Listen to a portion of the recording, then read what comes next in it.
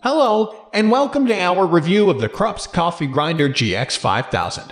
If you're a coffee enthusiast, you know that a good coffee grinder is essential to make a great cup of coffee.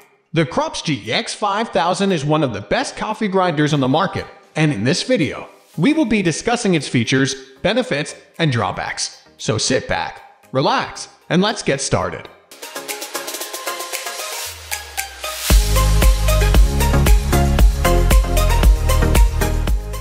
Appearance and build quality.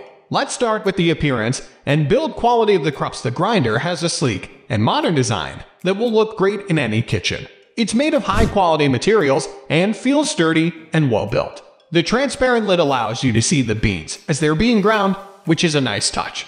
Grinding options. Moving on to the grinding options, the Krups has 45 different grind settings from fine to coarse, which makes it suitable for a wide range of coffee brewing methods, from espresso to French press. The grinder also has a quantity selector that allows you to choose the amount of coffee you want to grind, from 2 to 12 cups.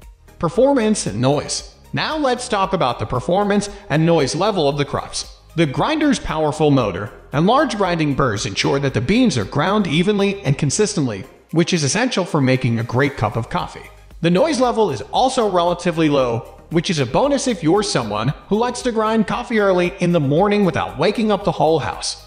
Cleaning and maintenance. When it comes to cleaning and maintenance, the Krups GX5000 is relatively easy to clean. The grinding chamber and burrs, however, one thing to keep in mind is that the grinder's static electricity can cause the grounds to cling to the container and create a mess. Overall, the Krups Coffee Grinder GX5000 is an excellent choice for anyone who is serious about making great coffee at home. Its range of grind settings, powerful motor, and low noise level make it a versatile and efficient coffee grinder. The only downsides are the static electricity and the potential for the grinder to get hot after extended use. However, these are minor issues that can be easily overlooked considering the overall quality of the Krups GX5000. We hope this review has been helpful, and thank you for watching.